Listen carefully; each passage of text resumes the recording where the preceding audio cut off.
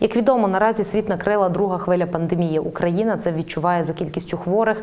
Вона неупинно зростає. Невтішні прогнози і на Закарпатті. Якщо попередні кілька місяців йшлося про 70-80 хворих на добу, то наразі ця цифра потрохи досягає трьох сотень. Минулого тижня голова ОДА та головний епідеміолог області на брифінгу наголосили, що в разі погіршення ситуації медична система просто не витримає. Варто наголосити на тому, що значна частина інфікованих медичні працівники.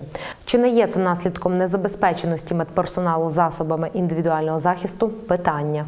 Вчера в новости смотрела, меня жуть.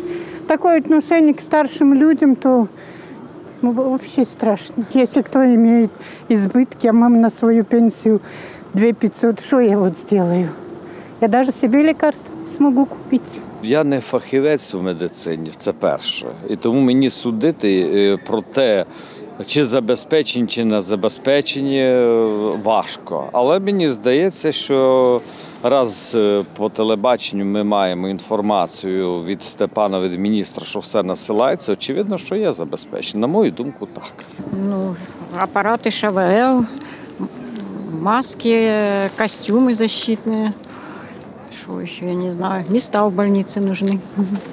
Потому что это пока еще как не пик, а вот зимой будет пик э, заболевания, и я боюсь, что уже и мест не будет в больнице. Волонтерство у нас з самого початку війни не було дуже, дуже великої підтримки в армії на сході нашої країни.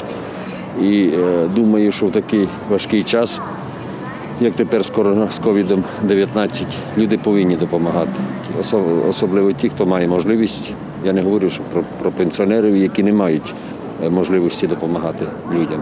Шановні представники великого бізнесу, попереду не кращі часи боротьби з COVID-19. Чи забезпечені медзаклади за державний кошт засобами індивідуального захисту? Також питання. Вибори закінчилися, тому просимо всіх лікарів полишити політику, реально озвучити, що в наших лікарнях є, чого нема, щоб люди, які мають можливість, могли підключитися до допомоги лікарям заради надання допомоги всім хворим.